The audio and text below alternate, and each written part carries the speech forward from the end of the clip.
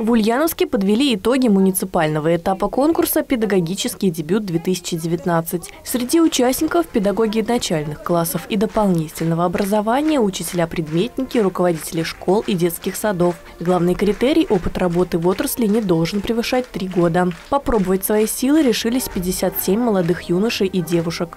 Те 57 человек, которые приняли участие в этом году в данном конкурсе, они тоже все победители. Они победили себя, они показали себе, на что они способны. Они научились друг у друга общению, обучению. И с новым потенциалом, с новой энергией, с новыми желаниями обучать наших детей, я думаю, они приходят завтра в школу.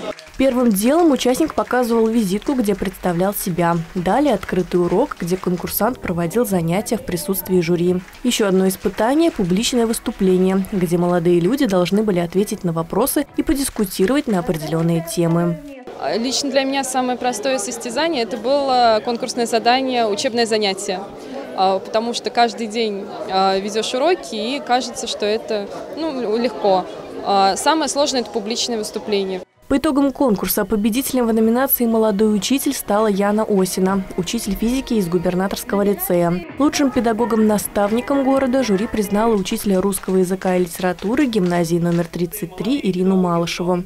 Лучшим молодым руководителем дошкольных образовательных организаций стала заведующая детским садом номер 85 Елена Башарова. Победу в номинации «Молодые педагоги дополнительного образования» одержала педагог Центра детского творчества номер 2 Елена Стеклова. В номинации «Молодой руководитель» победу одержал директор школы номер 27 Андрей Чечуков, за плечами которого победа на всероссийском этапе конкурса в номинации «Молодой педагог» в 2015 году.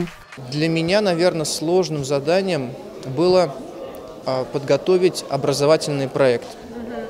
Это прежде всего связано с тем, что проекты, как долгосрочные такие инициативы, они формируются и воплощаются в течение достаточно большого промежутка времени. И здесь, когда я готовил свой проект, у меня встал вопрос именно с тем, как реализовать свою задумку, которую я хочу предложить. Потому что я не хочу говорить голословно, мне хотелось бы а, опираться на какие-то факты, которые можно было представить. Победители и призеры конкурса представят наш город на областном этапе конкурса профессионального мастерства. Анна Тищенко, новости Улправды ТВ.